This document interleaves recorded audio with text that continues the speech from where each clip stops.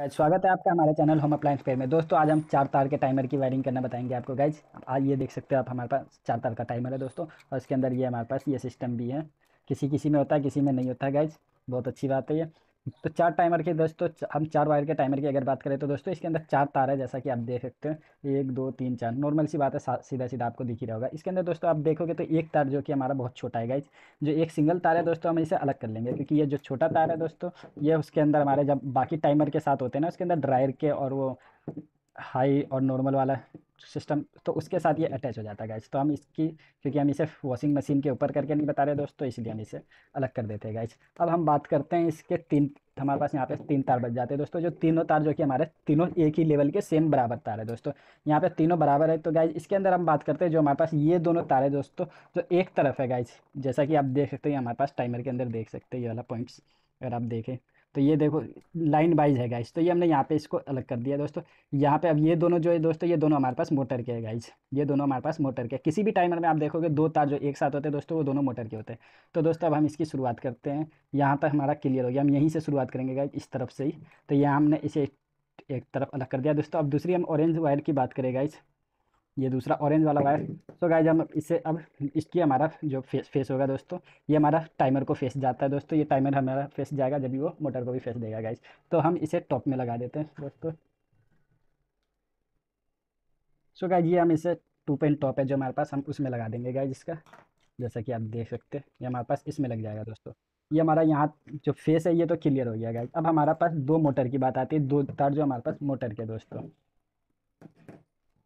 So guys जैसा कि आप देख सकते हैं, हमारे पास ये दो तीन तारे मोटर के मोटर के अंदर तीन तारे गाइज़ ये इस तरीके से लपटे होंगे जिसमें से आपको पता चल जाता है कि फेस कौन सा मोटर का रनिंग है स्टार्टिंग कौन सा गाइज़ तो ये हमारा मोटर का न्यूट्रल है गाइज़ इसके अंदर मोटर का न्यूट्रल है, हम उसे साइड कर देंगे.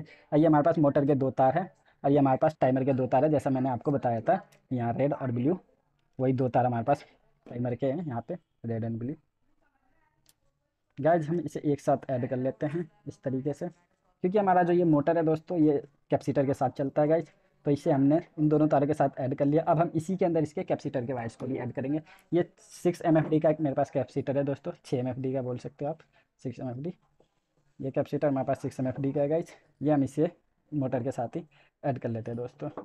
और अब हम इस पर टेप लगा देंगे गाइज़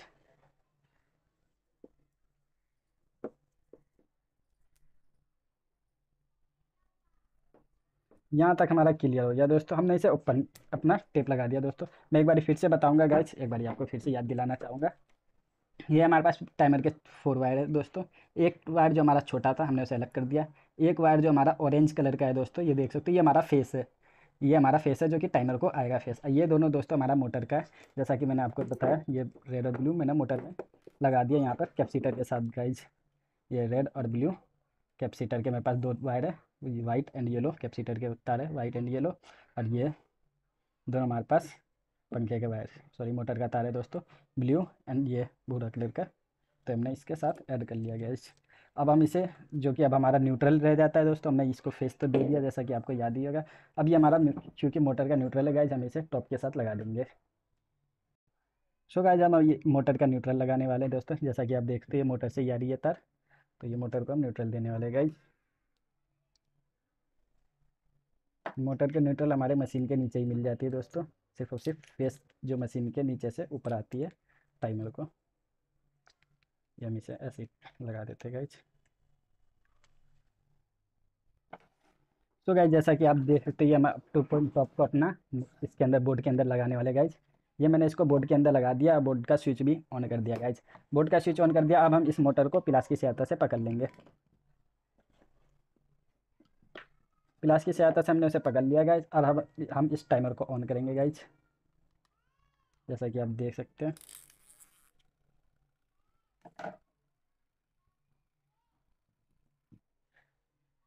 सो so गाइज़ हमने इसे बोर्ड में लगा दिया। जैसा कि आप देख सकते हैं हमारे जो कि मैंने तैयार किया था अपना टोपिन टॉप इसे हमने बोर्ड में लगा दिया। अब हम यहाँ से स्विच ऑन कर लेते हैं दोस्तों। उसके बाद अब हम यहाँ टाइमर से अपना मशीन ऑन करने वाले गाइज़ हमने यहाँ टाइमर ऑन कर दिया गाइज़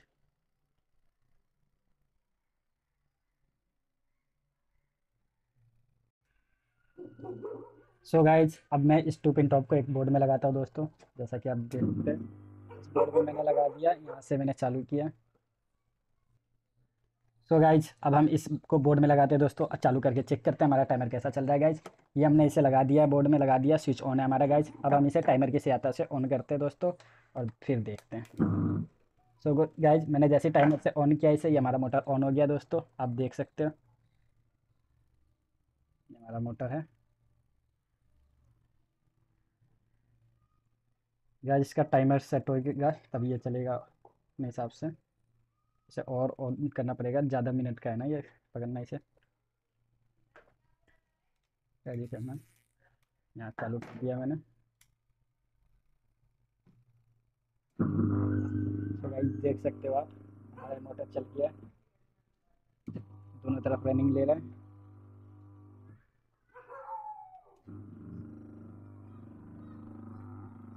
देख सकते हैं गाइज़ हमारा मोटर दोनों तरफ़ रनिंग ले रहा है यही से मैंने हैवी मोड पे डाल दिया दोस्तों इसके अंदर जैसा कि आप जानते हो टाइमर में ये होता है हमारे पास। इसकी वजह से ये डाउन जाता है मैं इसे अगर दबा दूँगा तो ये धीरे धीरे चलेगा मोटर अब हमारा। तो जब देखोगे मोटर हमारा धीरे धीरे चलेगा। रुक रुक के यही देख सकते हो आप। यहाँ। के चल रहा है ना गाइज़ अगर हम इसे, अगर टाइमर को इस तरीके से कर देंगे तो ये हमारा जल्दी जल्दी रनिंग लेगा गाइज़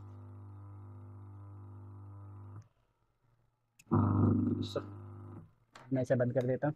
सो गाइज़ आपको हमारी वीडियो कैसी लगी? कमेंट करके ज़रूर बताना. अगर आपने हमारे चैनल को सब्सक्राइब नहीं किया तो सब्सक्राइब कर ले. साथ ही साथ बेल आइकन को भी ज़रूर प्रेस कर ले, दोस्तों.